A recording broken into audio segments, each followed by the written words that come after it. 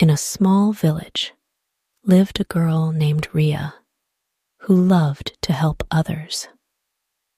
One day, she found a wounded bird and took it home. She gently cleaned its wounds and fed it every day.